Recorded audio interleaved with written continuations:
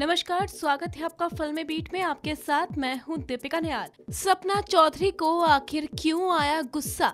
सपना चौधरी ने आखिर अपने फैंस को क्यों दिया मुँह तोड़ जवाब? अमूमन सपना चौधरी गुस्से में कम ही दिखाई देती है। लेकिन एक स्टेज शो के दौरान कुछ ऐसा हुआ कि सपना चौधरी भड़क गई। हुआ कुछ यूँ था कि सपना चौधरी स्टेज पर परफॉर्म कर रही थी।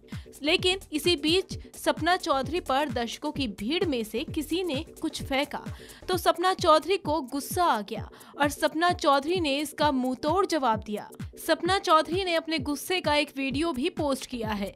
इस वीडियो में सपना चौधरी काफ़ी गुस्से में दिखाई दे रही है। वीडियो में सपना चौधरी कहती है कि अगर माँ का दूध पिया होता तो सामने आकर फेंकता मुझ पर। इस तरह भीड़ में रहकर क्यों फेंका? फिर सपना चौधरी उसे एक शेर सुनाती है। कलाकार किसी वसर का गुलाम नहीं होता और महफिल में यूँ ही बदनाम नहीं होता।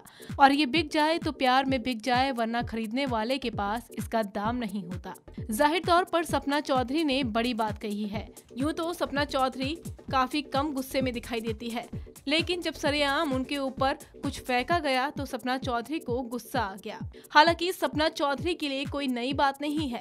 सपना चौधरी जब भी स्टेज पर उतरती है तो उनके फैंस पागल हो जाते हैं। स्टेज शो के दौरान तो फैंस पर काबू पाना तक भी मुश्किल हो जाता है। ऐसा ही कुछ सपना चौधरी के साथ तब हुआ था, जब सपना करनाल में द ग्रेट खली से सी में रेसलिंग के रिंग में उतरी थी। उस दौरान भी सपना चौधरी के साथ कुछ ऐसा हुआ था। बहरहाल, सपना चौधरी ने दिया है मुंहतोड़ जवाब। ज़ाहिर तौर पर सपना चौधरी से मिले इस जवाब के बाद अब फैंस उनके साथ इस तरीके का सलूक नहीं करेंगे। खैर, हमारे इस वीडियो में बस इतना ही, लेकिन बाकी वीडियोस के लिए हमारे चैनल को सब्सक्राइब करना न भूलें।